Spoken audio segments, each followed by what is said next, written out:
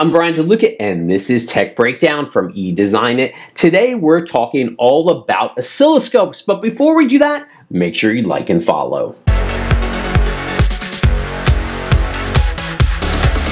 So what is an oscilloscope? An oscilloscope is an electronic testing device that graphically displays varying signal voltages, usually as a two-dimensional plot of one or more signals as a function of time. The display shows voltage on the y-axis and time on the x-axis. When a signal is fed into an oscilloscope, the instrument samples the signal and converts it into visual representation. The vertical system amplifies the signal while the horizontal system determines the time time scale.